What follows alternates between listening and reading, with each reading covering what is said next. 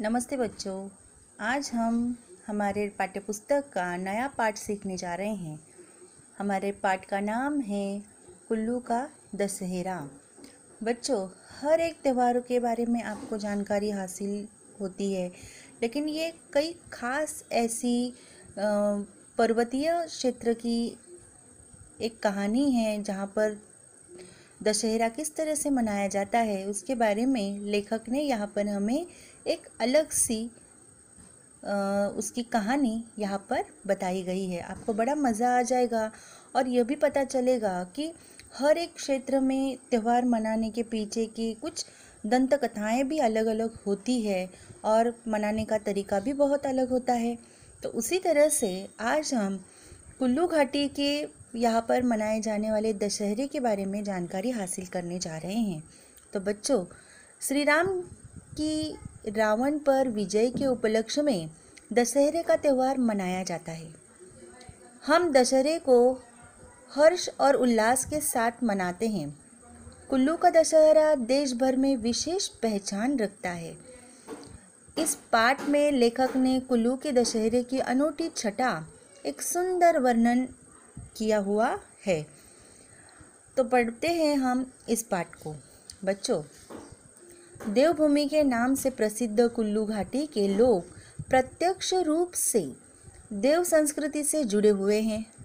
इनकी देवता किसी दूसरे लोग के निवासी नहीं होते, बल्कि इनके साथ गाँव में रहने वाले सुख दुख के साथी देवता रथ के रूप में साकार हो उठते हैं। कुल्लू घाटी के गाँव में हर देवता का अलग मेला होता है। जिसमें आसपास के गाँवों के देवी देवता और लोग शामिल हो जाते हैं। ढोल, नगाड़ों, करताल, शहनाई इत्यादि वाद्य यंत्रों से यहाँ की वादियाँ झूम उठती है। अक्टूबर माह में ऐसा लगता है, मानो कुल्लू के ऊँचे पर्वत शिखर, झरने, वादियाँ और रोहतांग की गोद से निकली हिम सरिता विपाशा की लहरें सभी मस्ती में झूमने गाने और नृत्य करने लगी हो। जिस और देखो पालकी में सज धज कर देवता बा, बाजे गाजे के साथ और परंपरागत वेशभूषा में सजे स्त्री पुरुष दिखाई देते हैं। सबका रुख तराई में बसे समतल मैदान ढालपुर की ओर होता है।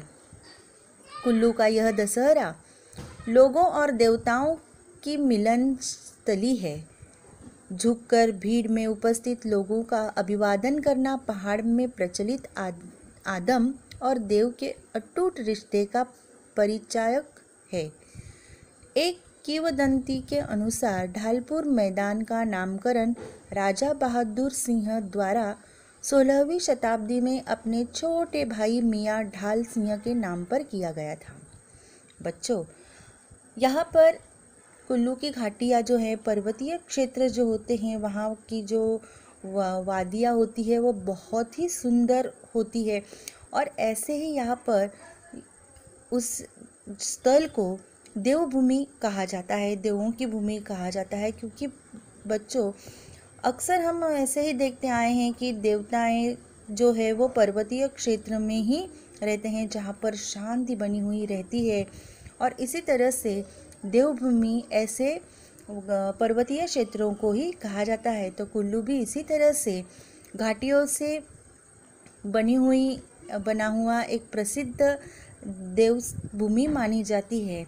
और यहाँ पर जो दशहरा मनाया जाता है, वो बहुत ही अलग तरीके का है। जो अब हमने यहाँ पर पढ़ा है कि किस तरह से यहाँ पर पर्वत शिखरे, झरने, वादियाँ और रोहतांग। रोहतांग यानी दो पर्वतों के बीच की जो दरिया होती है ना, उसे कहते हैं लोहतांग।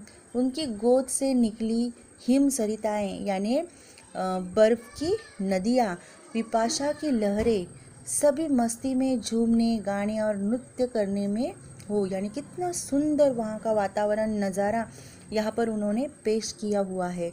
और इसी तरह से कुल्लू का दशहरा लोगों को देवताओं की मिलन स्थली यानी यहाँ पर दशहरे के दिन देवताओं का मिलन होता है और वो जो स्थान होता है, वो होता है ढालपुर का मैदान, जहाँ पर समतल है, यानी घाटियाँ नहीं है, पूरी तरह से समतल भाग है, मैदान का भाग है और वहीं पर ये सब दशहरा बड़े धूमधाम से मनाया जाता है। एक किवदंती के अनुसार ढालपुर में, किवदंती यानी एक दंत कथा के अनुसार इस ढालपुर मैदान का नामकरण राजा बहादुर सिंह द्वारा सोलहवीं शताब्दी में उसने अपने छोटे भाई मियाँ ढाल सिंह के नाम पर किया गया था। तो इस तरह से यहाँ पर ये देवभूमि का वर्णन लेखक ने बड़े ही सुंदरता के साथ किया हुआ है। कुल्लू के दशहरे को जिस बात से अंतर्राष्ट्रीय ख्याति मिली है, वह है यहाँ का लोक नृत्य आज भी दशहरे को लोक नृत्य उत्सव के रूप में जाना जाता है। नो लोक नृत्य यहाँ की माटी के कण कण में समाया है। यहाँ के जनमानस की रगों में पनपना है। तो बच्चों, ये जो कुल्लू का दशहरा है, इसे अंतर्राष्ट्रीय प्रसिद्धि मिली है। ख्याति यानी प्रसिद्धि मिली हुई है। यहाँ के खास जो है, वो है यहाँ का लोक नृत्य। आज भी इस दशहरे को लोक नृत्य उत्सव के नाम से भी जाना पहचाना जाता है। बच्चों, जैसे हम इस कोंकण भूमि पर रहते हैं, हमारी ये छोटी सी पर्वतीय भी क्षेत्र जैसा ही है। हमारे यहाँ पर भी इस तरह से प्रसिद्ध होली का त्यौहार मनाया जाता है। जिस तरह से कोकन कहा तो होली का त्यौहार एक खास नाम से प्रसिद्ध होता है। उसी तरह से कुल्लू का दशहरा प्रसिद्ध है। बच्चों, हम आगे पढ़ेंगे कि जिस तरह से इस कुल्लू घाटी पर दशहरे में देव देवताओं को नचाया जाता है, उनकी पालकियाँ निकली जाती है, लोग कितने जोश में और उत्साह में होते हैं। एक बहुत ही सुंदर और हर एक व्यक्ति के मन में जोश भरने वाला, आनंद भरने वाला लोग अपने सारे सुख दुखों को भूलकर इस पर्व में ऐसे शामिल हो जाते हैं। उसी तरह से हमारे इस कोकन भूमि में भी होली का त्यौहार जो मनाया जाता है, वो उसी तरह से है, प्रसिद्ध है और जो यहाँ पर मनाया जाता है दशहरा, वैसे हमारे यहाँ पर वो कुल्लू का दशहरा थोड़ा बहुत उसके जो तरीका है थोड़ा सा पालकियाँ देव देवताओं को, उनकी पालकियाँ निकालना, उनको, उनका मिलन करना, उनको नचाना, उस तरह के से भीड़ और उत्साह लोगों में भरा हुआ रहता है।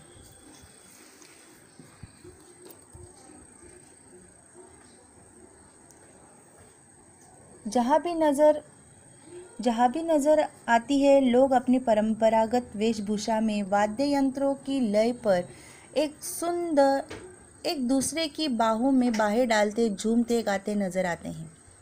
कई लोग मस्ती में झूमते हैं तो कई देवता के रथ को नचाया जाता है। पूरे ढालपुर मैदान में जगह जगह गड़े तंबुओं में देवता के साथ लाए लोग ठहरते हैं और एक सप्ताह तक देवता और लोग नृत्य का आनंद लेते हैं। क्यों बच्चों?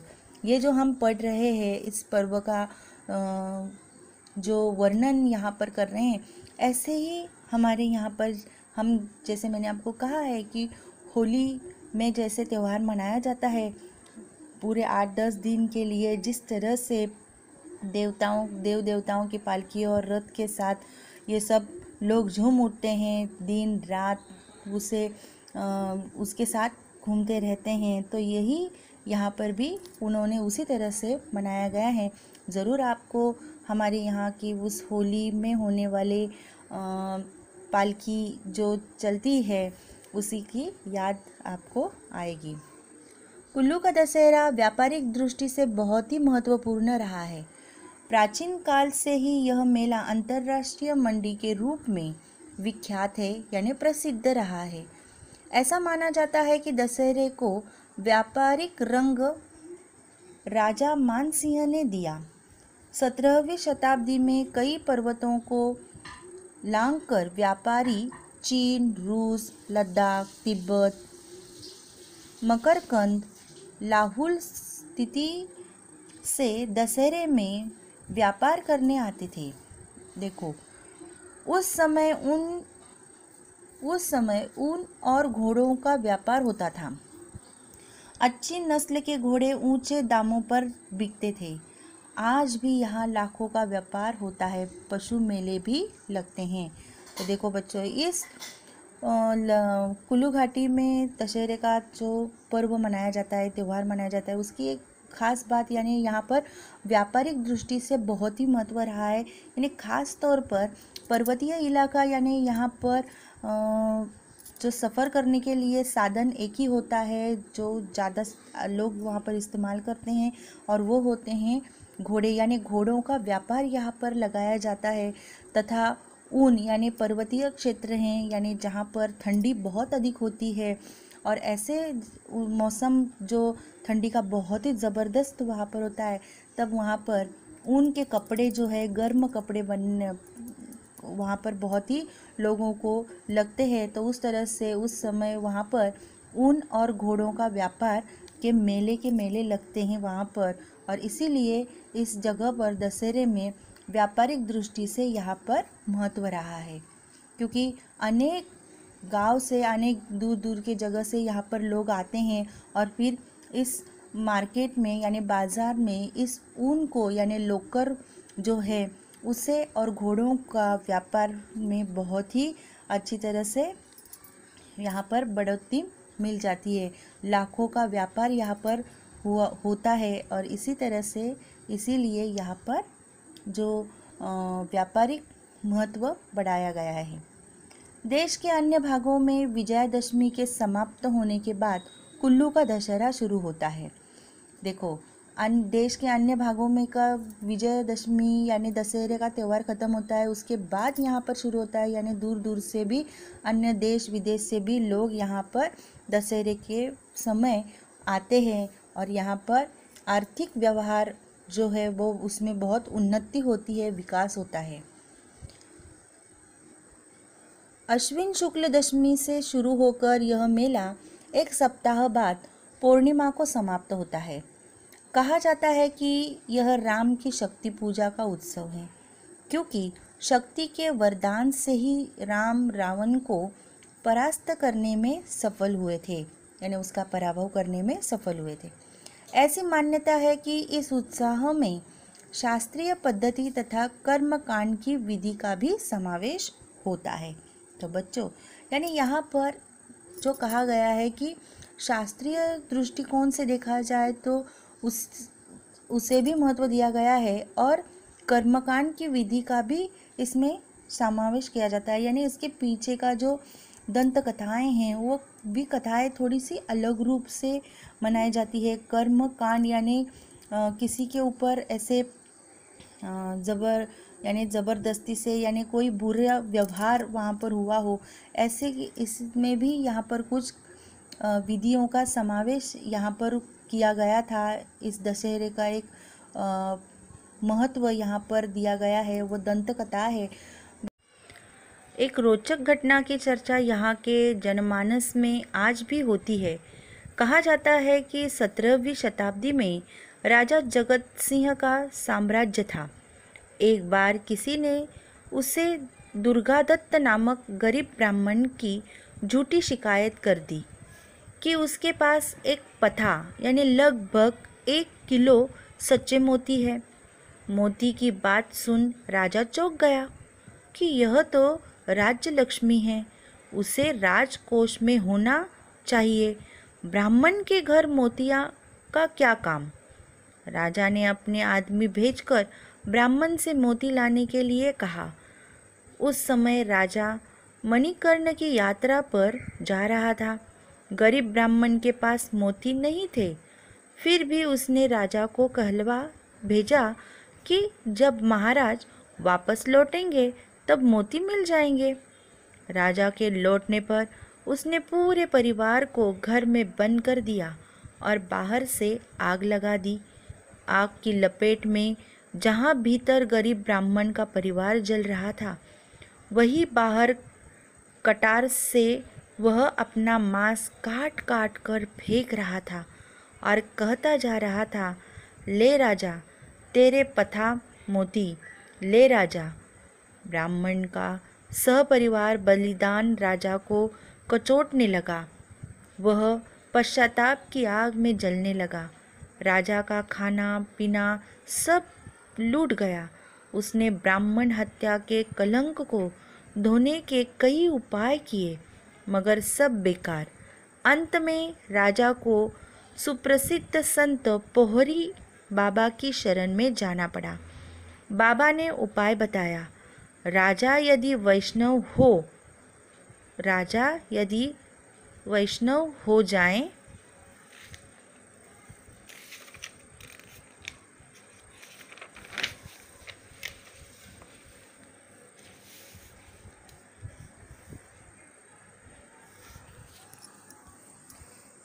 और अयोध्या से रघुनाथ जी की मूर्ति लाकर यहाँ स्थापित करे और सारा राज्य रघुनाथ जी को सौंपे और स्वयं मुख्य सेवक बनकर राज्य का संचालन करे तो उसके पाप का प्रायश्चित हो सकता है। तभी से सारा राज्य रघुनाथ जी के आदि मानने की परंपरा चली आ रही है। कुल्लू का विश्व विख्यात दशहरा लंका दहन के साथ संपन्न होता है। ढालपुर मैदान के अंतिम छोर पर व्यास नदी के किनारे झाड़ फूस एकत्रित करके उसे लंका का नाम दिया जाता है, जिस पर रावण का मुखोटा रखा जाता है। यहाँ पर रावण से युद्ध का अभिनव किया जाता है, अभिनव यानी नाटक किया जाता है। उस तरह का एक रोल किया जाता है कि मानो वो लंका है, लंका में रावण है और वहाँ पर राम और रावण का युद्ध चल रहा है। इस तरह से वहाँ पर अभिनय किया जाता है। इसमें राजा अपनी छठी हड़मानी बाग के महंत को थमा देता है, महंत यानी पुजारी। फिर तीर निकालकर कोटी लग या सारी के किसी आदमी को दिए जाते हैं।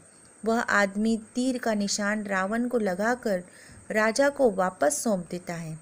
राजा इन तीरों को रघुनाथ जी को सौंप देता है। जिसके बदले रघुनाथ जी की ओर से राजा को बगा दिया जाता है। तीर मारने के साथ ही रावण और लंका को आग लग, लगा दी जाती है। उसी समय पाँच बलियाँ दी जाती है और वो पाँच बलियाँ होती है भैंस की, मेंढक की, सुअर की, मुर्गे और केकड़े आदि की बलि होती है। इसी दौरान देवी हिंडिबा भी उपस्थित होती है।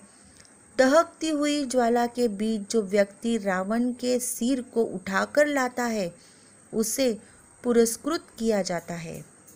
देखो बच्चों, जैसे कि रावण को जलाया जाता है, उस समय उसका जो सिर, उस जलते हुए आग में से जो लेकर आ जाता है उस ज्वाला से उस व्यक्ति को पुरस्कृत किया जाता है। इस तरह की वहाँ पर प्रथा है।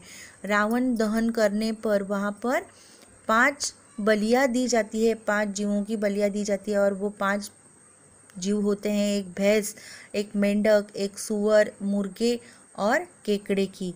तो इस तरह की वहाँ की जो प्रथा है और यही एक जो हम देख रहे थे कि कर्म कांड यहाँ पर हुआ था कि एक ब्राह्मण के साथ किस तरह से उसने अपने पूरे परिवार को जलाकर, खुद के शरीर से मांस काट काट कर राजा को उस मोतियों के रूप में दे रहा था तो इस तरह से उसका प्रायश्चित करने के लिए वहाँ के राजा को एक बाबा ने इस तरह का उपाय सुझाया था और वही प्रथा वहाँ पर चलती आ रही है। तो देखो, उस आग से, आग में से जो व्यक्ति रावण के सिर को उठाकर लाता है, उसे पुरस्कृत किया जाता है। इसके साथ ही रथ यात्रा पीछे मुड़ती है। सीता जी की मूर्ति लाकर जब रघुनाथ जी के साथ रख दी जाती है, मानो उसे रघुनाथ जी लंका से छुड़ाकर लाए हो। जैसे कि राम ने लंका से सीता को वापस रावण के इससे जाल से छुटकारा पाकर युद्ध करके लाए थे, उसी तरह से वहाँ पर उसकी मूर्ति लाकर वो राम के साथ रखी, रघुनाथ जी के साथ रखी जाती है। तो इस तरह से वहाँ पर वो अभिनय यहाँ पर पूरा किया जाता है। पूरे रामायण का इस तरह से कि लंका दहन और सीता का फिर से राम के पास लौट आना, इस तरह का ये अभिनय यहाँ पर चलता है। इस तरह सात दिन तक हर्षोल्लास, गीत, संगीत और नृत्य के साथ कुल्लू का दशहरा संपन्न होता है। तो बच्चों, इस तरह से इस कुल्लू के दशहरे की ये कहानी है, उसके पीछे की ये सारी दंत कथाएँ हैं और इन सबको देखा जाए तो एक अलग कथा की कुछ दंत कथाएँ ऐसे ही बनी हुई हैं, वो सचमुच है या नहीं कुछ कथाएँ सच होती है, कुछ ऐसे रचित कथाएँ होती है। लेकिन इस तरह से इस कुल्लू घाटी में मनाए जाने वाले दशहरे की पीछे की एक दंत कथा है और उसके पीछे का जो शास्त्रीय तथा उन्होंने कर्मकांड का जो विधि यहाँ पर बताई गई है तो इस तरह से यहाँ पर ये सब कुछ मनाया जाता है। इस तरह की उसकी, उनकी वहाँ की संस्कृति होती है। तो बच्चों, हर एक जगह पर त्यौहार के मनाने के पीछे की संस्कृति या पद्धति अलग अलग होती है। संस्कृति यानी पद्धति या रीति रिवाज अलग अलग होते हैं। तो आज हमने इस पाठ में कुल्लू घाटी में मनाए जाने वाले दशहरे के एक अलग त्यौहार के तरीके को हमने जाना है, पहचाना है। तो इस तरह से त्यौहार हमें बहुत कुछ सीख दे जाते हैं। उस, वो क्यों मनाया जाता है? किस तरीके से मनाया जाता है? उसके पीछे के कारण क्या हैं? ये सब, इस त्यौहार हमें ज्ञान दे जाते हैं और मना क्यों मनाए जाते हैं और उसके पद्धतियाँ, इन सब के बारे में जानकारी हमें हासिल होती है। और इसीलिए हमें हर एक त्यौहार में, त्यौहार के पीछे के कारणों को ढूंढना चाहिए।